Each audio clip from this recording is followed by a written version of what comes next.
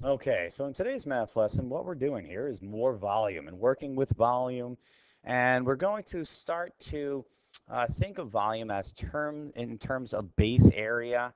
Um, I like to call them layers. I did this in the last video, but uh, officially now we're, we're sitting here. So uh, finding the straight volume of a prism, a rectangular prism, again, I like to think of a, a volume as finding a base area or the amount of space inside the floor of a rectangular prism. And once I have that value, I want to find out how many layers of that base area exist. And this value gives me that. So um, that's kind of how things are going to work here a bit. And that's how I like to think of volume. Find out the area of the floor. And then if it's a prism, that area remains the same, where the floor remains the same size as you put layers and layers on top. And so uh, your total is that base area combined with the amount of layers that you need. So formula for that is length times width times height. Now that length and the width gives me that base area. Okay, those two values on the bottom giving me an amount of space, and then the height gives me the amount of layers, as I like to call them. Okay, so in this particular sample over here, we have three values. We have our length, which is here, our width, and our height. So these two give me my base area, and this guy gives me my height. So volume is going to equal 1 and 1 half. I'm going to write all these out. Times 1 half times 7 eighths. There we have it. So in order to multiply fractions, I'm going to turn everything into a fraction. So that 1 and 1 half, if I uh, to turn into halves, that gives me 3 halves. One half is looking good already. My 7 eighths is looking good already. Before I multiply, I'm going to see if there's anything I can simplify. I don't see anything I can simplify. So I'm going to just continue to multiply. So my 3 times 1 times 7 gives me 21 over 2 times 2, which gives me 4, and then 4 times 8 gives me 32. And there it is. So 21 over 32 meters cubed uh, because we're filling those in with our wonderful little meters. Okay, cubic meters anyway. All right, so that's a straight solution there as far as finding a volume. Number two is interesting. We're, now we're talking about straight base area. So if I were to draw this guy right here, here we go, connect these guys out, and there's a rectangular prism, which has a base area so my base area here, this amount of space, or my bottom layer, if you would, is four and three quarter feet squared. Now this means that two values, my length and my width, were already multiplied together to give me that base. So volume equals length times width times height.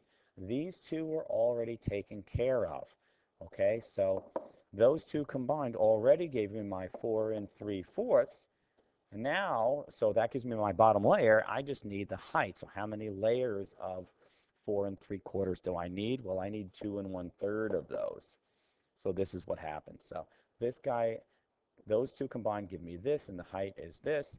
So now I just need to multiply those. So my four and four thirds gives me 16, 17, 18, 19 quarters, or 19 fourths, times two and one third, six, seven, that gives me seven thirds like that. Okay, again, I'll see if there's anything I can simplify. I don't, I don't see any. I have 12 on the bottom, 4 times 3, and a 19 times 7 over here. Uh, 7 times 9 gives me 63.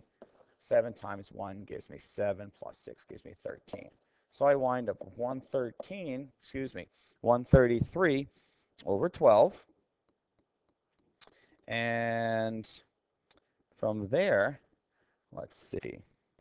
What From there, I just need to divide. So here's my 12. Here's my 133. I could leave it as such. I could leave it like that, I suppose, but I like to clean up after I'm done here. So let's see. So this goes in 0. This goes in 1. There's a 12. There's a 1. Bring this guy down. He'll go one time again for 12. One left. So, so 11 and 1 12th. Um, and the unit again is feet cubed. Okay, so that's working out pretty well. All right, The only other one I'm going to talk about quickly, they mix things up a little bit. They start having some fun with you as far as the length of a rectangular prism is three and a half times as long as the width. Um, and then the height is one quarter of the width. Now this is kind of fun stuff here, but what I'll do is simply draw this out for you to give you a little idea of what they're looking at here or what they're trying to accomplish for you. So I'm going to label length and my width and my height. Good idea always to draw things out. The width being 3 centimeters. Now what they're saying is, well, the length is 3 and a half times as long as the width. So the length is 3 and a half times as long as the width, the width being 3. So you need to work that out. And the height is 1 quarter of. So it's 1 quarter of the 3. And so that's what that guy looks like. Okay, so you work those out. So over here on the side, so if I'm working the length, and it's 3 and 1 half times 3, again, I need fractions. So let's see, so 3, so that's 7 halves times 3, or 3 over 1. And the length is then 21 over 2. And you can leave it like that, or you can say, all right, that's going to go 10 times with uh, 1 left. So that's 10 and 1 half and that's a centimeter. Okay, so I can write that right there. So 10 and 1 half centimeters. There you have it. And then the other guy is 1 fourth, so the height is 1 fourth of 3, or 3 over 1. And if you multiply those, you get 3 quarters. So this becomes 3 quarters of a centimeter. And from there, if they're asking for you to determine the volume, you, now you have your values you can multiply. So I'll change colors a little bit. So you're going to take this value, this value, and this value, and you're going to multiply those out to get your volume. Okay?